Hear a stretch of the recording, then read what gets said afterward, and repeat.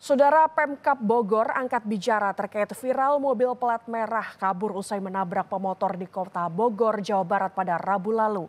Kadis Kominfo Kabupaten Bogor mengatakan mobil itu tidak tercatat sebagai aset Pemkap Bogor.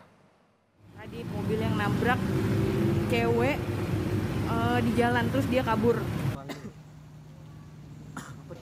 Itulah mobil dinas plat merah yang kabur pasca menabrak pengendara sepeda motor perempuan Rabu lalu. Saat peristiwa terjadi, mobil ini tak berhenti untuk menolong korban, namun malah melarikan diri. Saat ditelusuri, mobil plat merah ini nyatanya dari kantor pajak Pratama Cilengsi yang di bawah naungan dari Kementerian Keuangan.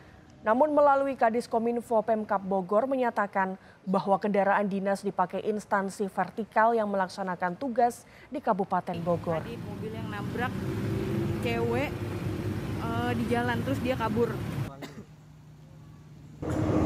Bagian aset uh, untuk plat nomor itu bukan uh, kendaraan dinas pemerintah daerah Kabupaten Bogor. Gitu.